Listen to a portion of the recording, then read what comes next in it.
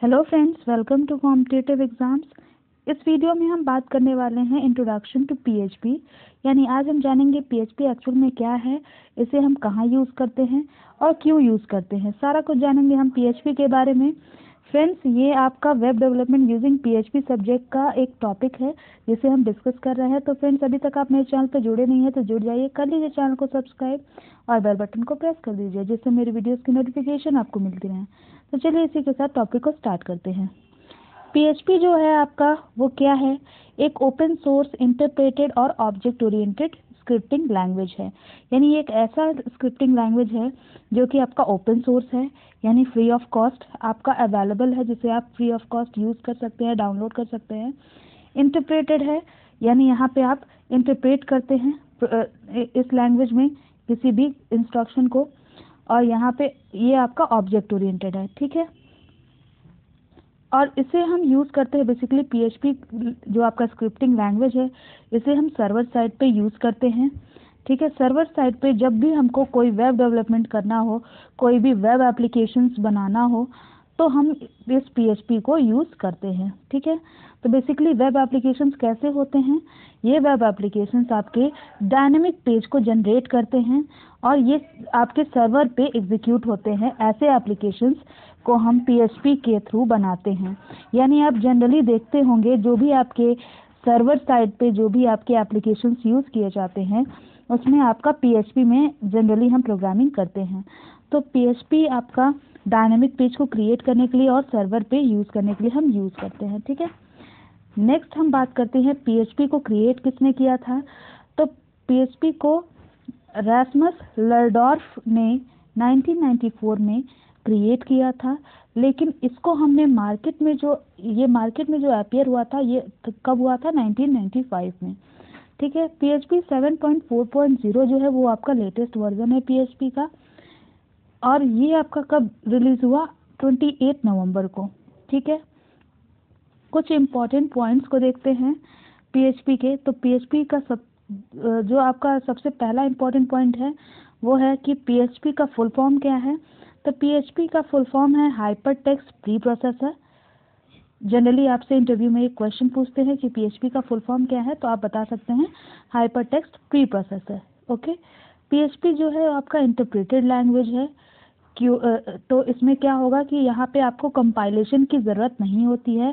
यानी ये एक ऐसी लैंग्वेज है, ऐसी इंटरप्रेटेड लैंग्वेज है जिसमें आपको कंपाइल नहीं करना पड़ता है ओके नेक्स्ट बात करते हैं पीएचपी जो है वो आपका अदर स्क्रिप्टिंग लैंग्वेज से फास्टर है।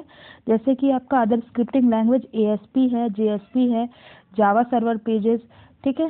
ये सारी लैंग्वेज जो आपकी स्क्रिप्टिंग लैंग्वेज है, उससे आपका पीएचपी जो है as compare to other scripting language fast है, ठीक है?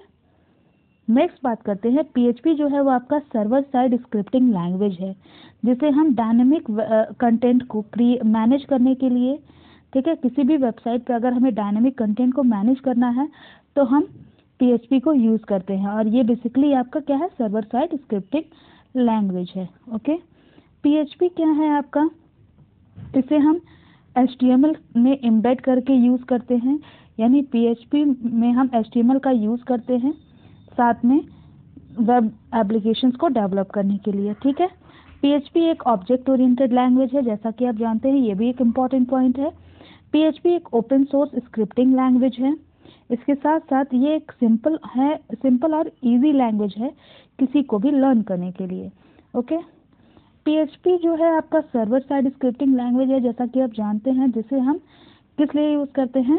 डायनेमिक वेब एप्लीकेशंस को डिज़ाइन करने के लिए with the my S Q L database यानी my S Q L database के साथ हम डायनेमिक वेब एप्लीकेशंस को डिज़ाइन करने के लिए पीएचपी का यूज़ करते हैं, ठीक है? ये क्या करता है? ये डायनेमिक कंटेंट को हैंडल करता है डेटाबेस को भी हैंडल करता है as well as session tracking भी करता है, ठीक है? किसी भी वेबसाइट की जो सेशन ट्रैकिंग होती है, वो भी हम पीएचपी के थ्रू करते हैं, ठीक है? तो बेसिकली पीएचपी क्या करता है? डायनेमिक कंटेंट को और डेटाबेस को हैंडल करता है, इसके साथ साथ सेशन की ट्रैकिंग भी करता है किसी भी वेबसाइट पे। ओके आप, अब हम बात करते हैं कि हम पीएचपी को एक्चुअली में यूज़ क्यों करते हैं? तो आप इससे आप क्या क्या कर सकते हैं? आप सेशंस को क्रिएट कर सकते हैं, ठीक है? इसके साथ साथ आप कुकी वेरिएबल्स को एक्सेस कर सकते हैं और कुकीज़ को सेट भी कर सकते हैं with the help of PHP ठीक है? कुकीज़ क्या होती हैं? जो आपकी इंफॉर्मेशन को स्टोर करती हैं, ठीक है? कुकीज़ के बारे में भी हम आगे की वीडियोस में देखेंगे। तो बेसिकली पीएचपी से आप क्या कर सकते हैं कुकी वेरिएबल को एक्सेस कर सकते हैं और कुकी को सेट कर सकते हैं, ठीक है?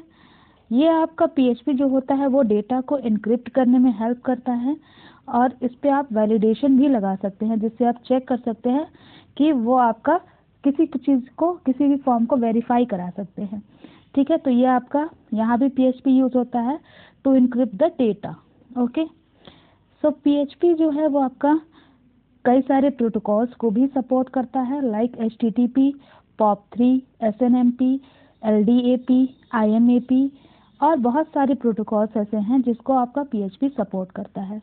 ओके पीएचपी लैंग्वेज को यूज़ करके हम क्या कर सकते हैं? हम यूज़र को आप क्या कर सकते हैं you can control the user to access some pages of your website यानी अगर आप चाहते हैं कि आपकी वेबसाइट पे कोई, कुछ पेज ऐसे हैं जो आपके कोई भी यूज़र यूज़ ना कर सके तो आप वहाँ पे क्या यूज़ कर सकते हैं पीएचपी लैंग्वेज को यूज़ कर सकते हैं सर्टेन कंडीशंस लगा सकते हैं, जिसके थ्रू कोई भी यूज़र आपका कुछ अगर आप चाहते हैं कि कोई पेज, कुछ ऐसे पेज हैं आपके वेबसाइट पे जो आपके यूज़र के अगर यूज़र उसको एक्सेस करता है तो वो सिक्योर नहीं है तो आप क्या कर सकते हैं? पीएचपी लैंग्वेज का यूज़ कर सकते हैं।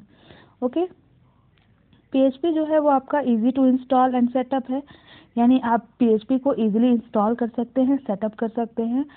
और द, जो मेन रीज़न है कि हम पीएचपी को यूज़ क्यों करते हैं?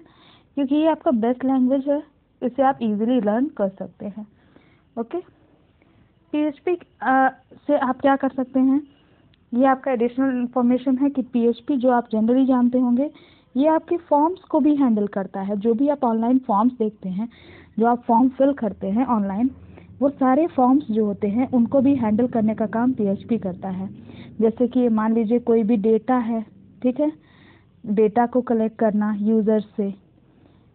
फॉर्म की, जो भी आप यूज़र्स फॉर्म भरते हैं ऑनलाइन फॉर्म भरते हैं, उससे क्या करता है पीएचपी डेटा को कलेक्ट करता है और उसको डेटाबेस में सेव कर देता है, ठीक है? और जब भी यूज़र को उसकी ज़रूरत है, उस इंफॉर्मेशन की ज़रूरत है, वो उसको वहाँ से रिट्रीव कर सकता है, ठीक है? फॉर एग्ज़ाम्पल जैसे रजिस्ट्रेशन फॉर्म नॉर्मली ये जो रजिस्ट्रेशन फॉर्म्स होते हैं, जो भी फॉर्म्स होते हैं जैसे बहुत सारे जॉब से रिलेटेड फॉर्म्स होते हैं ऑनलाइन फॉर्म्स जो आप फिल करते हैं, वो सारे आपके पीएचपी के थ्रू हैंडल किए जाते हैं। वहाँ से आपका डेटा जो है वो यूज़र के थ्रू लिया जाता है फॉर्म फिल करने पे और वहाँ से डेटा जो है वो डेटाबेस में भेज देते हैं with the help of P H P language okay so P H P के बारे में पी एच पी के बारे में आप, आपको काफ़ी जा, जानकारी हो गई होगी। तो आई थिंक ये वीडियो यहीं तक रखते हैं। नेक्स्ट वीडियो में हम अगले टॉपिक को डिस्कस करेंगे related to P H P so friends अगर आपको वीडियो अच्छी लगी हो तो ज़रूर लाइक करिएगा, अपने फ्रेंड्स के साथ शेयर करिएगा और चैनल को सब्सक्राइब करना बिल्कुल मत भूलिएगा। Thank you for watching